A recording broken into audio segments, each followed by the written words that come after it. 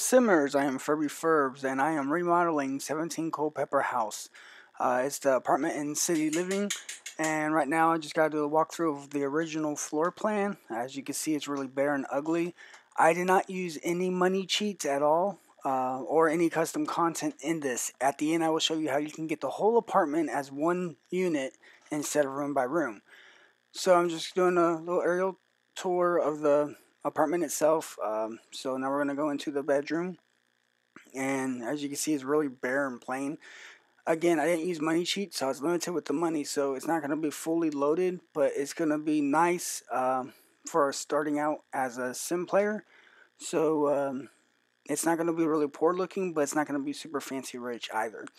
So just go into the bathroom right now, just kind of see how small and condensed it is. And we're just going to go ahead and uh, turn around and head back to the living room. Uh, once we get back to the kitchen, uh, the speed build will begin, and you'll see how I remodeled this apartment. So here we go. I'm selling all the furniture, get a little extra cash. Um, so the idea came with me for the bedroom. Uh, I used to have a studio apartment, and the bedroom was the way I'm doing it now. It had a half wall, and then it had you know curtains, and it had no door. Obviously, I don't have the bathroom inside the uh, bedroom with uh, closet like my original apartment did.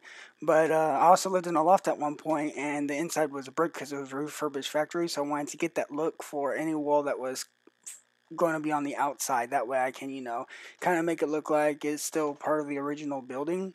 But then, of course, have the drywall, you know, uh, different colors. So here we go. I uh, got like my accent walls, and then I'm going to go and paint it a little beige color so I'm just checking, trying to get a carpet that matches. That's not going to be too powerful with the blue or the beige. Um, yeah, I think I believe I end up changing the top. Yeah, I did change the top part to blue.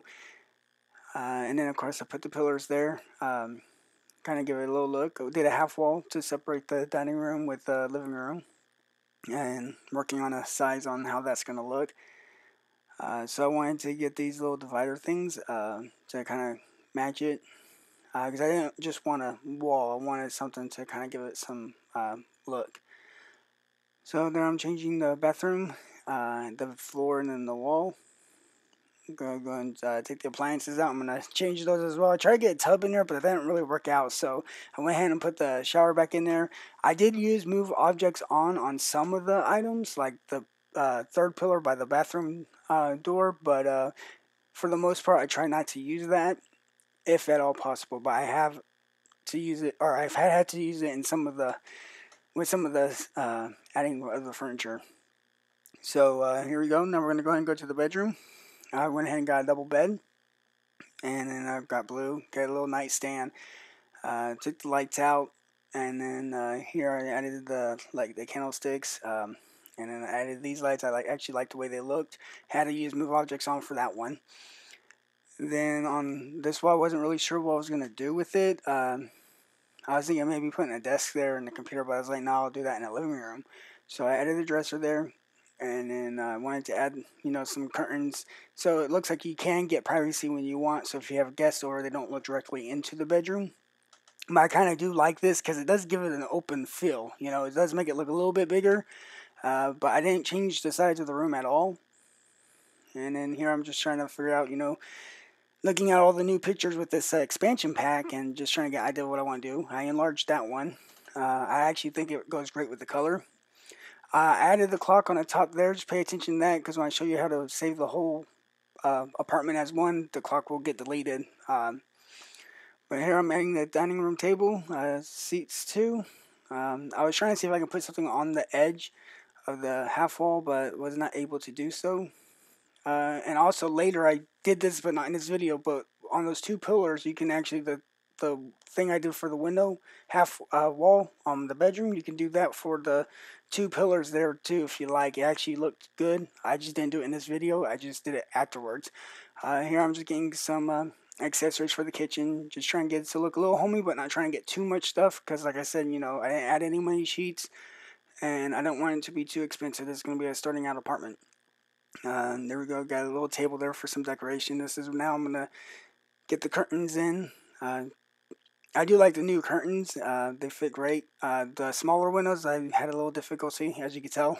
but uh, I think I did pretty good trying to pick something that matched. All right, here since we're on a budget, I'm gonna go ahead and um, get the coffee table, and I enlarged the small TV. So uh, I like that cheap where you just push the button and you know make it bigger. So you don't have to actually buy the big TV. You can just make your cheap one bigger. Okay, here's where I'm going to add the computer desk. Uh, I was thinking of also putting on the other half wall, but I thought that might be too much. So I put over there, and of course, um, you know, I got a small computer. I had to sell some stuff because I was running out of money. Here we're going into the tour of the actual apartment.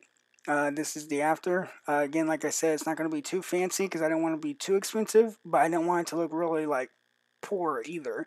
So I um, hope you do like this. And again, I mean, always you can always change it to any way you like. I do have this uploaded in the gallery, and after we get done with this little tour, like I said, I'll show you how to save the whole apartment as one, which I got from a, a simscommunity.info website. Um, so we're turning around. There's the kitchen, and then we're gonna be turning around into the bedroom. See that clock is still on the wall there. It will disappear, but that's what the bedroom's gonna look like. So kind of gives you the open feel, and you know have no door, but that's fine. You can just walk right through, uh, which I go through the wall. And then there's the bedroom, which, you know, I really think that turned out good.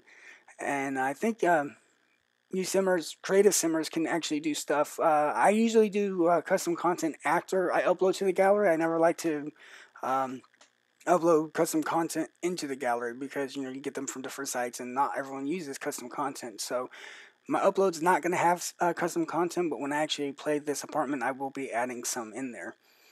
So we're going to walk back out into the living room just to kind of get another view.